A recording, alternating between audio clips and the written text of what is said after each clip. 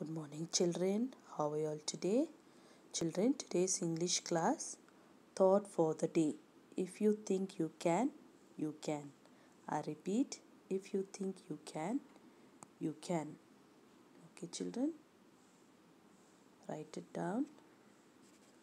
Yes, last class we were talking about countable nouns. Today, uncountable nouns. Uncountable nouns, nouns that cannot be counted and which do not have a plural form. For example, we can say a little water or a lot of water, but we cannot count it by saying five waters or ten waters. Example rice, sand, sugar. Can you see, children? Yes. Write it down.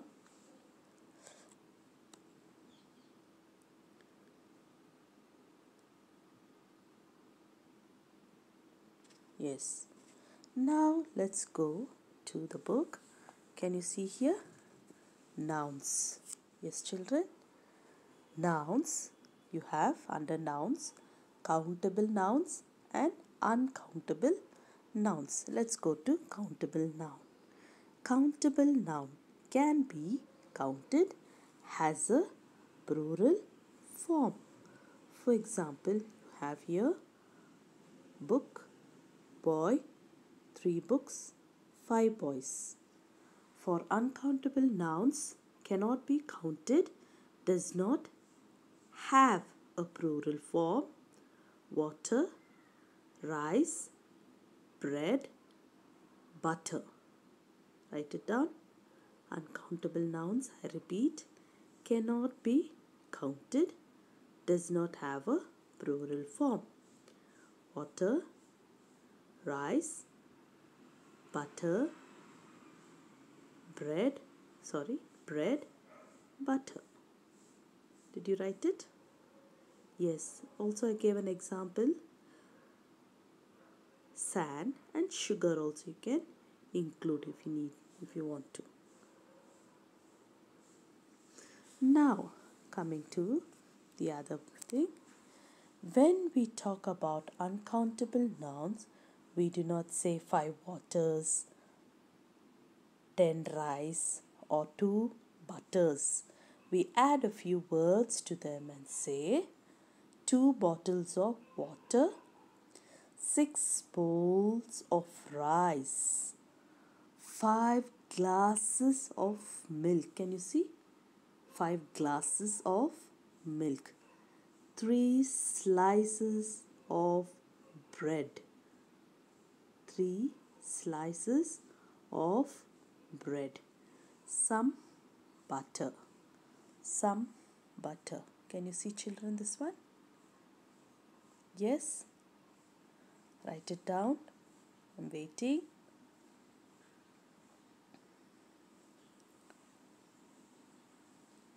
Yes, children, don't get confused. Under nouns, countable nouns, uncountable nouns.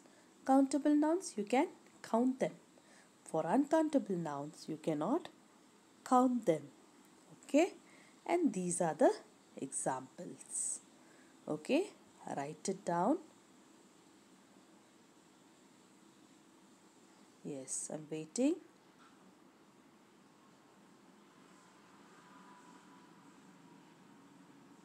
Yes, write it neatly in your rough book. Once when the classwork comes, I'll give you the notes for this. Okay? Okay, children? Uh,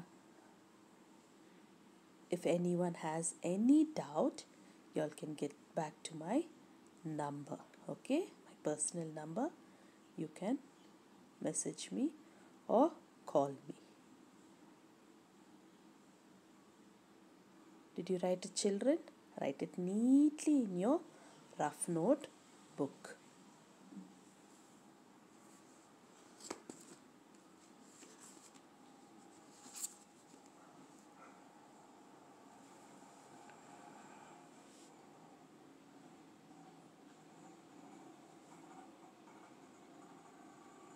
Yes, today countable and uncountable nouns.